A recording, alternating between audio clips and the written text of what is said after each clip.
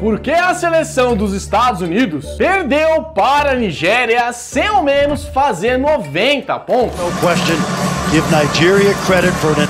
But this could be, this will be a wake-up call for Team USA. E como esse resultado reflete em um dos maiores problemas da NBA atualmente. E é isso que vamos tentar entender no vídeo de hoje. Salve manos e meninas do Basco, meu nome é Vinícius e sejam todos bem-vindos ao canal. Um pouco antes das Olimpíadas de Tóquio começar, a seleção dos Estados Unidos decidiu fazer alguns jogos amistosos como uma forma de preparar os seus atletas, e era composto por nomes como Demi Lillard, Devin Booker, Kevin Durant, Jason Tatum, Ban Adebayo e Draymond Green. E entre as seleções que estavam marcadas para fazer jogos amistosos estava a Nigéria, que nem de longe era ativa partida como um desafio para os norte-americanos, porém foram surpreendidos logo de cara com um time que mostrava muita versatilidade para pontuar e que conseguiram até abrir uma vantagem sobre as estrelas da NBA. Porém, não era o ataque que estava sufocando as estrelas americanas, e sim a defesa, pois perceberam que certos contatos que normalmente seriam faltas na NBA não estavam sendo marcados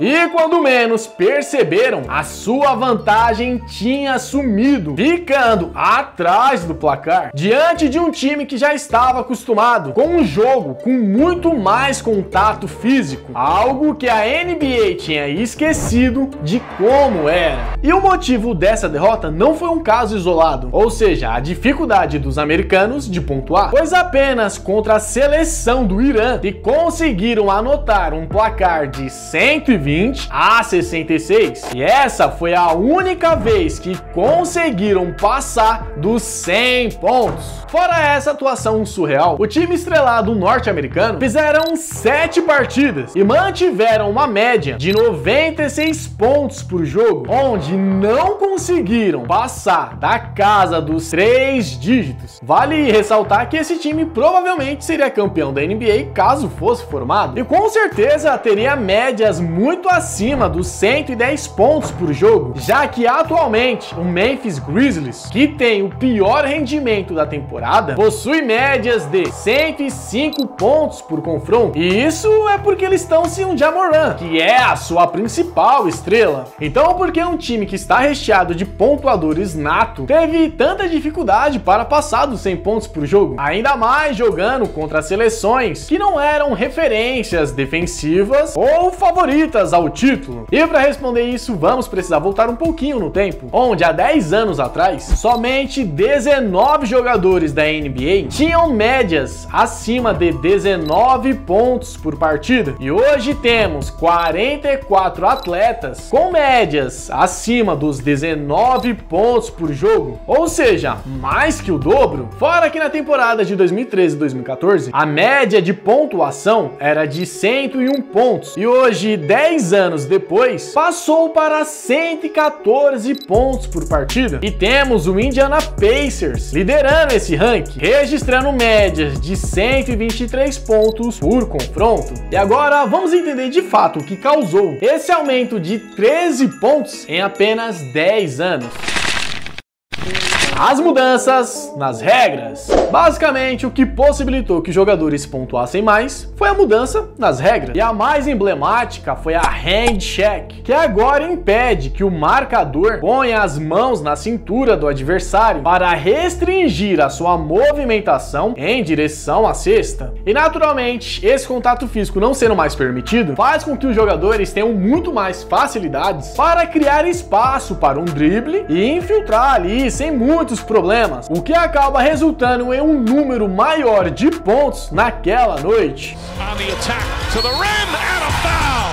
Porém, essa aí não foi a única alteração relevante que tivemos nas últimas temporadas, pois atualmente os árbitros toleram dribles que antes não era permitido nos anos 80, assim como andadas. Look at the ref like, are you really gonna call that? Conduções e step backs. Isso sem dúvidas abre uma vantagem gigantesca na defesa, assim como a regra da movimentação livre, que desde 2018 inibe que os jogadores disputem por uma posição quando estiverem sem a posse da bola, algo que deixa novamente a defesa em desvantagem. Algo que o próprio Stephen Curry disse que foi uma baita de uma vantagem para ele, pois agora ele pode se movimentar com mais liberdade pela quadra e sendo um desafio a mais para os seus rivais que vão defendê-lo. Como podemos ver, houveram muitas facilitações nas regras para que o ataque fosse beneficiado. Afinal, é a defesa que ganha campeonatos, mas é o ataque que vende ingressos. E com a saída dos maiores vendedores de bilhete, como Magic Johnson e Larry Bird, assim como Michael Jordan, o objetivo agora é tornar todo jogador em um potencial vendedor de ingressos ambulantes. Afinal, um jogo com mais de 120 pontos é mais atrativo do que uma partida com apenas 90 pontos. E isso em tese é muito bom para a liga, pois dá espaço para que mais jogadores se tornem estrelas e para que os fãs continuem indo ver os jogos na arena, assim como assinando o NBA League Pass. Mas essa altura você já deve ter percebido um problema nessa estratégia. E é sobre isso que vamos falar agora. Se tudo é especial, nada é especial.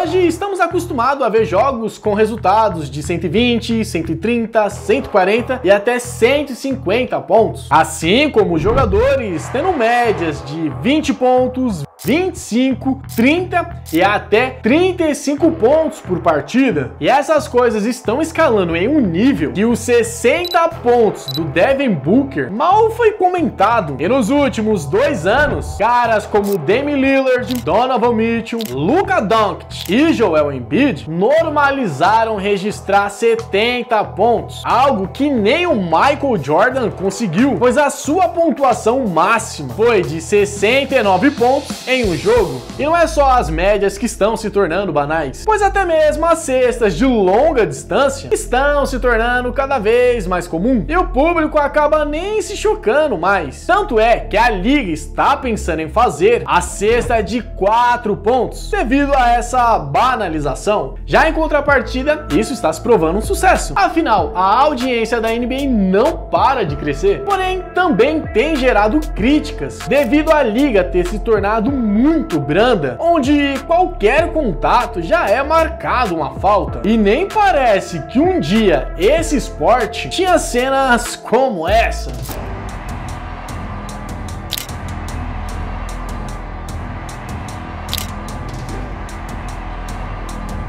Claro que é importante ter um meio termo entre a barbaridade dos anos 80 e o mar de rosas que temos atualmente. Pois, como vimos, isso também pode impactar os Estados Unidos nos eventos mundiais. Tanto é que o Luka Doncic disse que é muito fácil pontuar na NBA devido às regras serem mais frouxas comparadas com a da FIBA, que é implementada nos campeonatos europeus. E como ele é o segundo maior cestinha atualmente, não há como ignorar essa opinião. Mas e você? O que acha dessa banalização das pontuações? Você concorda? Discorda? Deixa aqui nos comentários que eu quero saber. Galera, eu espero que vocês tenham gostado do vídeo e se sim, não esquece de deixar o like, porque isso mostra pro YouTube que você curtiu o nosso conteúdo e assim ele recomenda para mais fãs de basquete. E se você tá chegando aqui agora, mano, aproveite, se inscreve pra fazer parte dessa comunidade que só cresce. Mas agora sim, eu vou encerrando por aqui, mas continue nos assistindo nos cards que estão aparecendo aqui na tela e falou!